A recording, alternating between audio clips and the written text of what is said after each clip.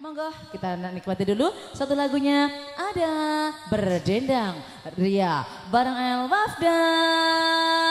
Insya Allah berkah.